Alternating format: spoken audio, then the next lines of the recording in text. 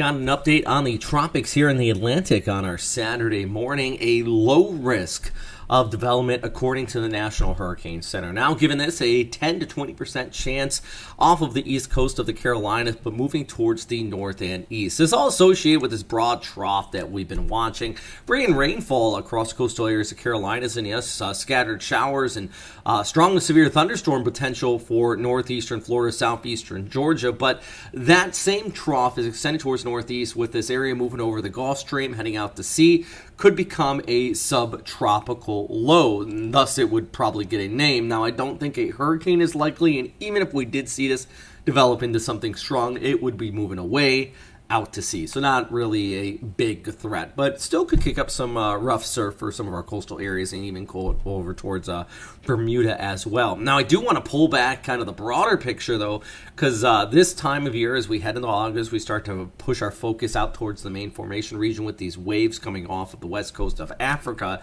and at the same time, the Bermuda High starts to weaken too. So what we're seeing is an increased chance of storms developing, moving through moisture rich environments, and starting to bring that increased threat of tropical systems. Now, as we go ahead through August, that is typically what does happen. There's no surprise here. This is actually the climatology for the month of August. And as we look ahead and through the mid portions of August, according to the Climate Prediction Center, they're saying that there is a low chance of tropical development in that area through mid August. So this isn't the current storm. This would be looking ahead at a potential another storm uh, popping off out here. In fact, this is the ECMWF, the SpaghettiOs, I like to call them. Basically, these are the ensemble models.